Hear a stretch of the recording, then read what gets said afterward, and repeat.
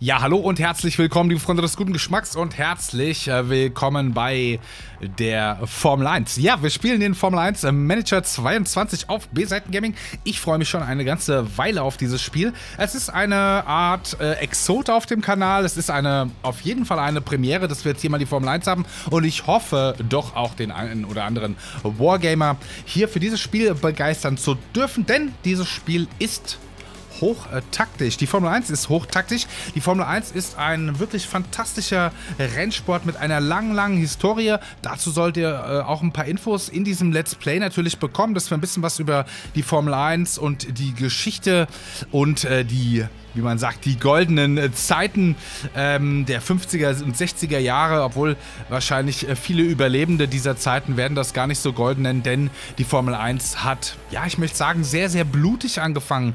Über die Hälfte der Fahrer hat die eigene Karriere nicht überlebt und ist bei äh, Formel 1, bei der Ausübung des Formel 1 Sports ums Leben gekommen. Das ist zum Glück mittlerweile anders. Ayrton Senna war der letzte sehr, sehr, sehr, sehr, sehr tragische Todesfall. Ein wirklich fantastischer Fahrer und ein toller Mensch.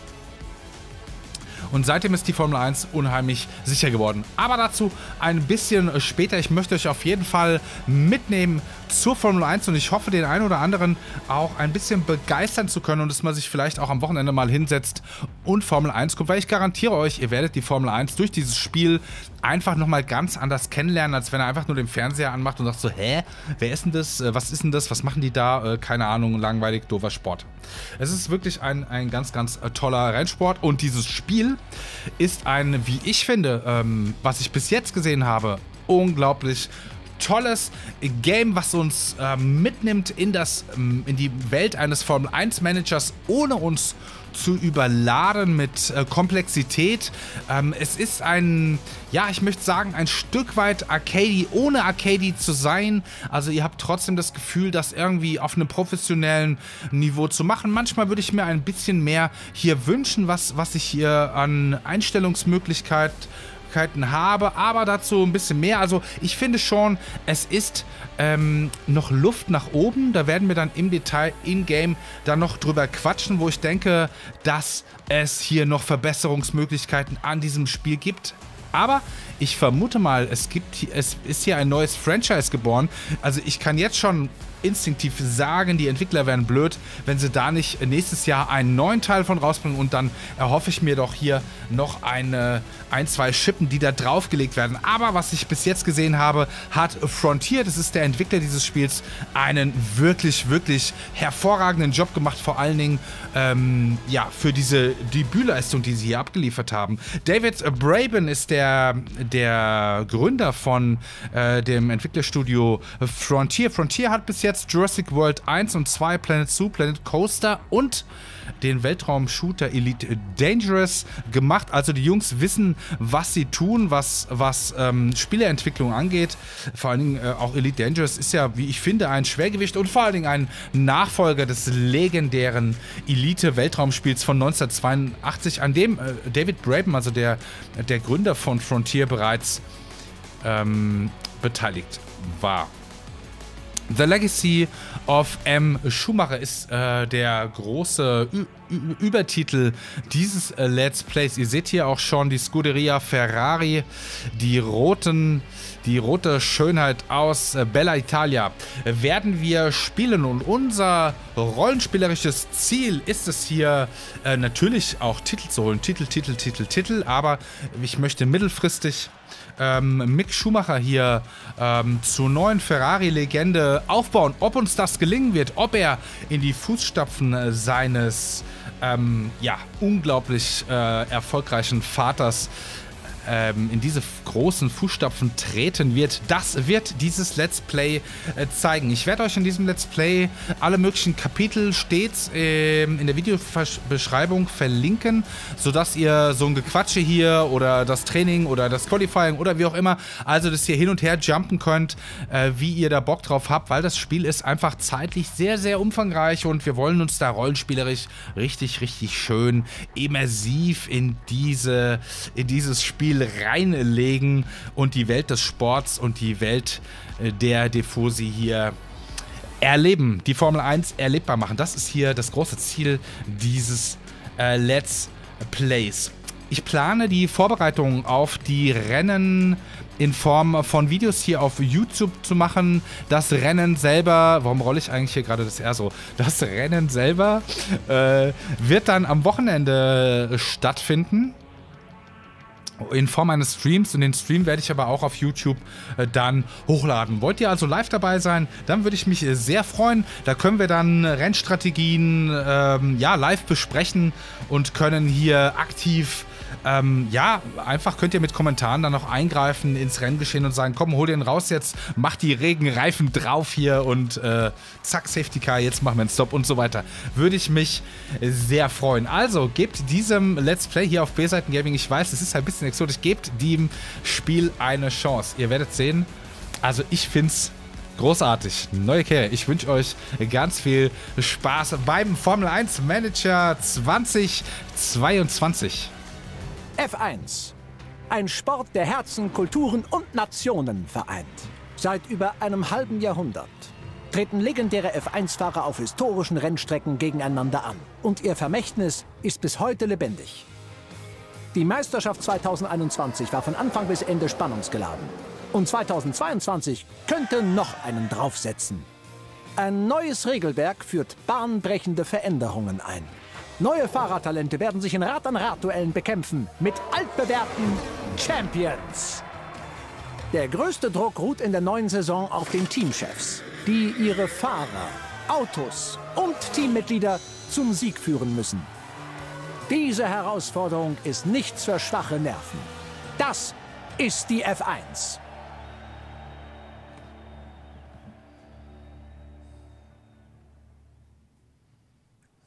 Ferrari sind seit dem Beginn der Weltmeisterschaft 1950 fester Bestandteil der F1. Noch immer hält das Team den Rekord für die meisten Titel. 2021 hatte das Team eine passable Saison und konnte den dritten Rang in der Konstrukteursmeisterschaft belegen. Bei Ferrari zählt in der F1 nur der Sieg. Mit einem guten Management über die Saison 2022 hinaus sind regelmäßige Podiumsplatzierungen definitiv zu erwarten. Wenn alles gut läuft, werden sie im Laufe der Saison um den Sieg mitfahren können. So, dann äh, herzlich willkommen hier bei der Teamauswahl. Ich werde jetzt alle Teams ganz in Ruhe mal vorstellen. Wir werden uns das Audio dazu anhören und ähm, das eine oder andere werde ich hier auch schon mal in Bezug auf die aktuelle Saison oder auf die Historie der Teams äh, sagen. Wenn dir das also zu langweilig ist, dann klick eben auf den entsprechenden äh, Link in der Timeline, um hier zum Gameplay zu gehen. Wir spielen Ferrari. Ein Hersteller, der quasi Chassis und Motor, ähnlich wie Mercedes, äh, gleichzeitig baut. Und Ferrari ist ein Kind der ersten Stunde, also seit 1950, seitdem der erste, die erste Weltmeisterschaft in der F1 ausgetragen wurde, ist Ferrari dabei. Ähm, wir gehen hier mal auf die Info, genau. Hier seht ihr, ah, das Hauptquartier sogar Maranello. Das ist unsere Hausstrecke. Erster Eintrag 1950. Da geht's los. Und 15 äh, 15 äh, Weltmeisterschaften. Wir haben eine Konstrukteursmeisterschaft, oder? Für die, die jetzt nicht so Formel 1 äh, kundig sind. Also die Konstrukteursmeisterschaft. Es gibt zwei Weltmeisterschaften sozusagen. Einmal die der Fahrer. Da wird ein, eine Person als Weltmeister gekürt. Und ähm, eine Formel 1-Team besteht immer aus zwei Fahrzeugen. Das ist ein Teamsport, Formel 1. Und äh, die Punkte, die beide Fahrzeuge sammeln, werden zusammengerechnet in der Konstrukteursmeisterschaft. Das ist natürlich für den Hersteller dann der beliebteste Titel. Für die Fahrer ist die Weltmeisterschaft hier, die Fahrerweltmeisterschaft natürlich der beliebteste Titel. Wir haben die meisten Titel mit 15. Jetzt müssen wir mal kurz innehalten. Michael Schumacher hat allein fünf Titel für Ferrari geholt. Das heißt, ein Drittel dieser gigantischen Summe hat Michael Schumacher und zwar in den Jahren 2002 bis 2004, also zwei Titel, also WM 2000, 2001, 2002, 2003 und 2004. Den letzten Titel holte äh, Kimi Räikkönen für Ferrari im Jahr 2007. Das heißt, es sind 15 Jahre her, dass diese altehrwürdige Marke einen Fahrertitel geholt hat und das soll natürlich das große Ziel sein. Und ich will euch eins schon mal vorne wegnehmen. Wir sind ein ganz, ganz heißer Kandidat Wir haben äh, das Saisonziel ist sowieso erster. Hier seht ihr die Teamwertung. Also da ist zusammengefasst ähm, die ganze Struktur rund ums Auto. Ja, also äh, unsere Fabrik, unsere Forschung, unsere Ingenieure, Boxenteams etc. etc. Ja, das ist die Gesamtleistung und zu erwartende Konkurrenzfähigkeit, will ich mal sagen, ja, mit den anderen Teams. Aber ich würde sagen, aktuell haben wir nicht auf jeder Strecke, aber doch auf einigen Strecken das beste Auto, was wir hier äh, zur Verfügung stellen können. Ihr seht hier, Autoleistung sind wir 1 von 10. Das ist, heißt jetzt aber nicht, dass wir jedes Rennen gewinnen oder so, ja. Es gibt natürlich Ausfälle, es gibt einfach äh, Fahrerfähigkeiten, Wettereinflüsse und und und. Also nur weil wir hier das beste Auto haben, äh, sind wir nicht auf, auf, auf Platz 1 gesetzt. Und die anderen Teams arbeiten natürlich wie der Teufel daran, uns hier von Platz 1 zu stoßen und ein besseres Auto zu bauen, denn wir werden im, im Verlaufe dieser Saison unser Auto auch äh, weiter äh, entwickeln. Fahrer haben wir, wir haben zwei passable Fahrer. Wir haben hier Charles Leclerc und Carlos Sainz. Das sind, das sind super Fahrer, aber es gibt natürlich äh, bessere. Zu denen kommen wir gleich. Äh, und wir werden jetzt gleich am Anfang der Saison einen dieser beiden durch Michael Schumacher, wenn das, ich muss mal gucken, wie schnell wir an den rankommen, äh, Michael Schumacher, Mick Schumacher, ersetzen. Das heißt, wir werden hier einen fahrerischen Rückschritt machen und es wird dann umso schwerer für uns, die Konstrukteursmeisterschaft zu errangen. Aber das Let's Play heißt halt eben Legacy of M. Schumacher und das ist unser vorrangiges, ich sag mal, rollenspielerisches äh, Ziel also wir werden jetzt, wären natürlich besser, wenn wir die beiden Fahrer jetzt erstmal behalten würden, aber das möchte ich einfach nicht. Technischer Leiter Enrico Cardile, äh, Leiter der Aerodynamik Diego Tondi, Renningenieur ist äh, Xavier oder Xavier, ne, Xavier Marcos Padros, das heißt wahrscheinlich Javier, oder? Äh, Markus Padros und Ricardo Adami. Die beiden Renningenieure stehen sozusagen in Kontakt mit unseren beiden Fahrern. Und je länger die beiden auch zusammenarbeiten, umso besser ist dieses Team. Generell haben wir hier einen sehr, ähm, sehr potente äh, Personalien.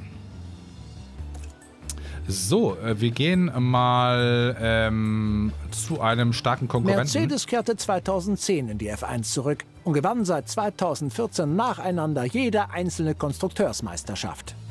2021 konnte das Team erneut den Konstrukteurstitel erringen, hatte in der Fahrerweltmeisterschaft jedoch knapp das Nachsehen und landete auf Rang 2. Auch 2022 zählt für Mercedes nur die absolute Dominanz im Wettbewerb. Mit weniger als dem schnellsten Auto und den meisten Siegen werden sich die Silberpfeile weder in dieser Saison noch in folgenden Jahren zufrieden geben. Ja, also ihr seht schon hier eine Teamwertung. Na, die sind top. Die haben auch die letzten, ich weiß es nicht, äh, sieben Formel 1 Weltmeister ge gestellt, glaube ich. Ich glaube, Nico Rosberg war dabei, Lu Lewis Hamilton. War das Nico Rosberg? Hm, Komme ich jetzt nicht drauf.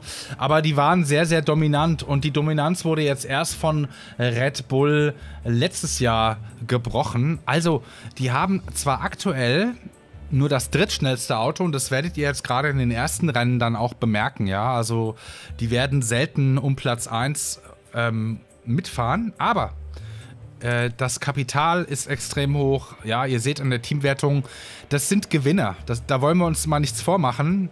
Also die müssen wir mit Argus Auge im Auge behalten. Die beiden Fahrer sind George Russell und Lewis Hamilton. Mit Lewis Hamilton Lewis Hamilton und Max Verstappen, der bei Red Bull fährt, würde ich sagen, sind die beiden besten Fahrer der aktuellen äh, Saison. Aber auch George Russell ist ein ähm, wirklich äh, fantastischer Fahrer und auch hier die Personalien sind extrem stark. Team Red Bull nahm 2005 erstmals an der F1 teil und gehört seit 2009 zu den Top 3 Teams der Weltmeisterschaft.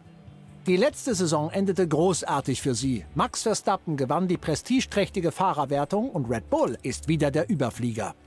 2022 könnte Red Bull die Konkurrenz mit dem richtigen Management zum wiederholten Male anführen. Sie hoffen sicher, in dieser Saison nicht mit einem, sondern gleich zwei Titeln ins Hauptquartier nach Milton Keynes zurückzukehren. Aktuell ist die Situation so, dass Red Bull das Team ist, was es gilt zu schlagen. Ihr seht an der Teamwertung, ähm, ja, nicht ganz so stark wie Mercedes, aber da dürfen wir uns nichts vormachen hier. Auto ist hier auf Platz 2 und wie gesagt, die, das, ist, das ist eine Gesamtbewertung der Fahrzeuge. Das gilt nicht für jede Strecke. Es wird Strecken geben, wo wir gegen den Red Bull keine Chance haben werden. Und die Fahrer, ähm, ja, auch Perez, ein extrem guter Fahrer, vor allen Dingen aber Max, äh, Max Verstappen, der, wie ich finde, äh, ja, relativ am Anfang seiner Karriere noch steht. Von dem wird man die nächsten Jahre noch einiges hören. Sehr, sehr sympathischer Mann und wirklich ein unglaublich guter und ähm, ja auch aggressiver äh, Formel 1-Pilot. Eins wollte ich zu Mercedes noch sagen. Neun Titel. Den ersten äh, Titel holte bei Mercedes ähm, Juan Manuel Fangio. Fangio für viele der beste Formel 1-Pilot aller Zeiten. Fangio ist in der ja, ähm, 1956, nee, Fangio ist äh, vorher tatsächlich für, äh, hat den zweiten Weltmeistertitel für Alfa Romeo geholt im Jahr 51 und glaube ich dann 1954 das erste Mal für Mercedes. Und ähm, ja, da haben damals die Silberpfeile alles gerockt. Mercedes hat sich dann nach einem ganz, ganz äh, schlimmen Unfall bei, ähm, äh, bei Le Mans ähm, wo ganz viele Menschen gestorben sind.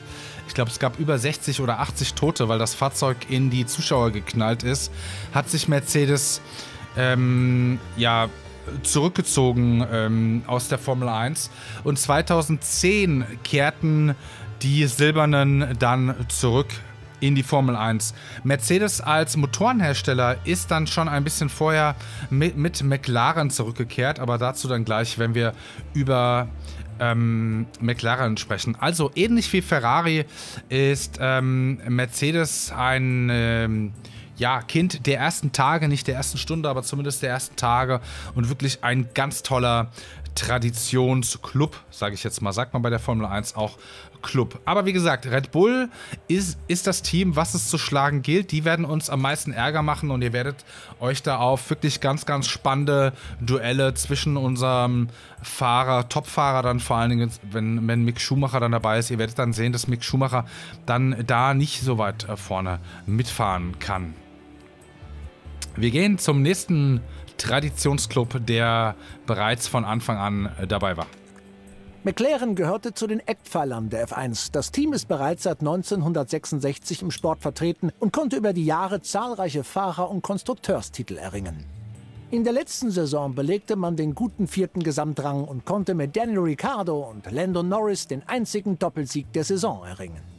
Das talentierte Fahrerpaar Ricciardo und Norris kehrt in dieser Saison von McLaren zurück und eines ist sicher. Sie werden sich nicht einfach zufrieden geben, bis sie wieder amtierende Champions sind. Ja, McLaren leider mit dem Orange finde ich die Autos nicht sehr ansehlich.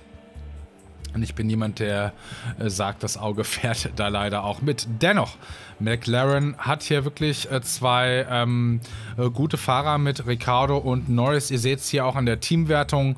Das ist extrem gut. Saisonziel Fünfter ist durchaus, äh, durchaus äh, realistisch. Ihr seht aber, dass das äh, Budget hier ein bisschen ähm, ja, begrenzter ist, aber es ist auch ein ähm, ja, sehr, sehr traditionsreicher Club, der auch aus der goldenen Ära, obwohl dieses Wort finde ich wirklich nicht äh, ganz passend, aber ja, aus dieser sehr, sehr gefährlichen Zeit, vor allen Dingen die 60er Jahre. Die 50er Jahre waren gefährlich die 60er, vor allem die späten 60er, waren gefährlicher, weil die Autos immer schneller, immer schneller, immer schneller wurden.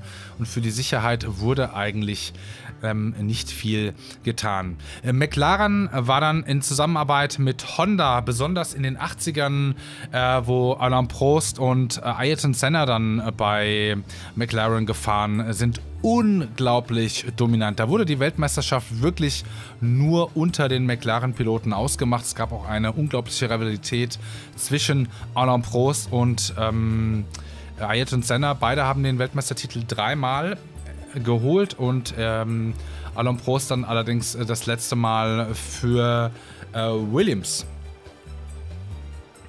Dann gehen wir mal weiter. Mit Alpine tauchte 2021 ein neues Team auf, das sich mit den Fahrern Fernando Alonso und Esteban Ocon schnell einen Namen machte. Alpine beendete die Konstrukteurswertung 2021 auf dem fünften Platz, wobei Ocon in Ungarn den ersten Rennsieg verbuchen konnte. 2022 wird für Alpine ein richtungsweisendes Jahr, in dem das Team weiterhin auf die bewährte Fahrerpaarung Alonso-Ocon vertraut. Mit der richtigen Führung könnte das Team in einigen Jahren durchaus um den Titel mitfahren.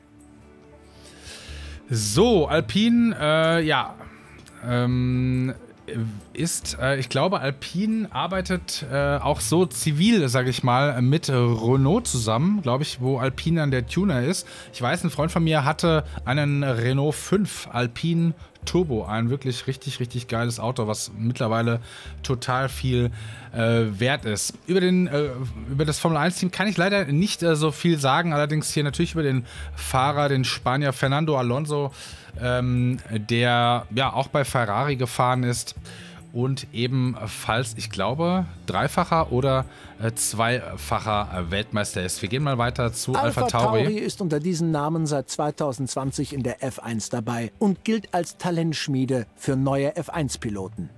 Letzte Saison erreichten sie den sechsten Gesamtrang. Fahrer Pierre Gasly konnte außerdem im Baku mit einem Podium beeindrucken. Für die Saison 2022 vertraut das Team weiterhin auf die Fahrerpaarung Yuki Tsunoda und Gasly. Sie werden weiterhin regelmäßig punkten wollen und sich sukzessive vom Rest des Mittelfelds absondern. So, ja, Alpha Tauri, soweit ich weiß, ist das die Kaderschmiede von Red Bull. Und äh, da werden dann die jungen Talente eben ausgebildet. Wir gehen weiter zu einem weiteren Traditionsclub Aston Martin. 2021 war Aston Martin erstmals in der F1 vertreten. Sie konnten mit Sebastian Vettel einen legendären, viermaligen Weltmeister für eines ihrer Cockpits verpflichten. Trotz Anlaufschwierigkeiten bei den Testfahrten zeigte Aston Martin eine solide Leistung und belegte am Ende den siebten Rang.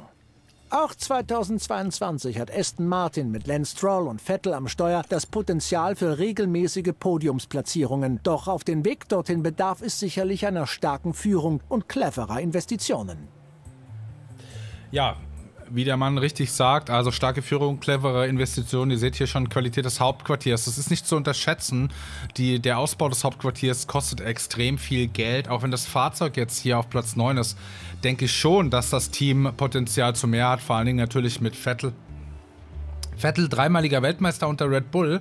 Danach leider ähm, hat er irgendwie bei Ferrari auch Probleme gehabt. Und ich habe dann auch manchmal das Gefühl, bei Aston Martin... Ähm, funktioniert es nicht so. Dennoch, mit Aston Martin sollte man im Mittelfeld auf jeden Fall rechnen. Wir gehen jetzt weiter zu einem, ja, auch sehr alten Formel Williams 1 Williams ist ein legendäres Team der F1, das zu Glanzzeiten neun Konstrukteurstitel gewinnen konnte. Die Williams-Familie verkaufte das Team im Jahr 2020. Im Jahr 2021 schlug sich Williams daraufhin relativ passabel. Am Ende reichte es dank einiger Sternstunden von George Russell in seinem letzten Jahr als Williams-Pilot für den achten Gesamtrang. 2022 gehen Nicolas Latifi und Neuverpflichtung Alex Albon, der nach einem Jahr Pause in die F1 zurückkehrt, für Williams ins Rennen. Nun gilt es, dieses Jahr bessere Ergebnisse zu erzielen und sich einen Platz im Mittelfeld der Konkurrenz zu sichern. Ja, Williams, ja, wie er sagte, ist ein ja, ein sehr erfolgreiches Team, vor allen Dingen in den 90er Jahren, auch in den 80ern stark, aber vor allen Dingen in den 90ern äh, wartete Williams dann mit technischen Neuerungen auf, die die Formel 1 quasi revolutioniert haben. Davor war die Formel 1 ja quasi Kartfahren auf ähm, extrem hohem Niveau. Williams äh, fing dann an, Elektronik einzubauen und ähm, diese Autos waren dann völlig ähm, OP, sage ich mal. Und äh, den letzten Titel von Alain Prost, den hat er mit einem Williams geholt und ähm, wo Ayrton Senna und Alain Prost sich davor, wo sie zuvor noch beide bei McLaren gefahren sind, wirklich eisern duelliert haben. Das waren unglaublich spannende, zweikampfstarke Rennen gewesen. Äh, war dann mit den technischen Neuerungen der, der Williams der Drops gelutscht. Also die anderen Autos, inklusive Ayrton Senna, ähm, hatte da einfach keine Chance mehr auf den McLaren. Und so ist dann Ayrton Senna auch zu Williams äh, gewechselt, als Alain Prost dann seine Karriere beendet hatte, was dann 1994 war das, glaube ich. Ähm, mit dem schrecklichen Unfall äh, von Ayrton Senna ähm, endete. Äh, also das Leben von Ayrton Senna endete. Äh, die Erfolgsgeschichte äh, von Williams endete da noch nicht. Damon Hill war dann so Ende der 90er noch ein starker Konkurrent. Der McLaren Mercedes, ach, das wollte ich noch erzählen, dass eben Mercedes als Motorkonstrukteur dann Ende der 90er schon zurück in die Formel 1, aber Silberpfeile, also echte Silberpfeile, wo sowohl das Chassis als auch der Motor von Mercedes kommen, war dann erst 2010. Alfa Romeo kann auf eine beeindruckende F1-Historie zurückblicken und hat 1950 die allererste Fahrerweltmeisterschaft gewonnen. 2021 hat es allerdings ohne Podiumsplatzierung nur für den neunten Gesamtrang gereicht. 2022 geht das Team mit brandneuen Fahrern an den Start. Sie haben den allerersten chinesischen F1-Piloten Joe sowie Veteran Valtteri Bottas verpflichtet und werden versuchen, wieder regelmäßig zu punkten. Ja, die Rückkehr von Alfa Romeo stellt tatsächlich eine sehr, sehr erfreuliche äh, Tatsache für mich zumindest da. Ich mag einfach alte Clubs, ich mag italienische Marken. Ich fahre selber ein Motorrad aus Italien, eine Ducati. Das ist auch der Grund, warum ich, ähm, oder einer der Gründe, warum ich Ferrari spielen möchte. Äh, weil ich den roten einfach, äh, ja, mich verbunden fühle, zumindest was Fahrzeuge angeht. Ähm, ja, äh, Weltmeistertitel 1950 und 1951 dann eben auch mit Juan Manuel Fangio. Äh, seitdem dann leider nichts, von daher dann sehr schön die Rückkehr 2019 und man muss tatsächlich sagen, äh, Alfa Romeo hat hier vor allen Dingen im Vergleich zur letzten Saison ein wirklich echtes, gutes Auto gebaut. Ich finde, ähm, Alfa Romeo ist auch eine ganz schöne Kampagne ähm, zu spielen, einfach weil man hier ja noch viel ausbauen kann. Ne? Ihr seht, die Qualität des Hauptquartiers ist Luft nach oben. Ne? Von daher die Teamwertung insgesamt schlecht. Aber die haben jetzt zumindest zu Beginn der Saison ein echt starkes Auto, was vor allen Dingen hier für die McLaren und die Alpha Tauris hier ein starker Konkurrent ist. Und dann, last but not least, Haas trat 2016 in die F1 ein und legte einen fulminanten Karrierestart hin, der sie 2018 gar auf den fünften Platz führte. Letzte Saison reichte es nur für Rang 10, aber das Team investierte viel Zeit in die Entwicklung des 2022er Autos und in Zukunftsplanung. Im Vorfeld der Saison 2022 sind die Erwartungen an das neue Auto bei Haas hoch. Die Kombination aus ehrgeizigen Fahrern, einem ambitionierten Team und starker Führung könnte sie anspornen und den Weg zurück ins Mittelfeld ebnen. Ja, Haas, ein äh, Rennstall aus den Vereinigten Staaten. Richtig. Ähm, ja, und im Moment noch Heimat von äh, Mick Schumacher.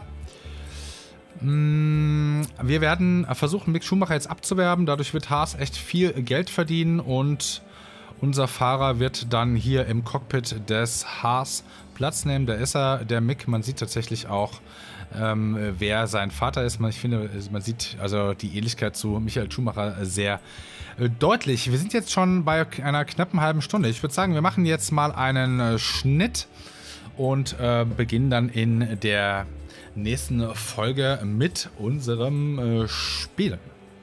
Ich bin der Basti und ich bin hier raus.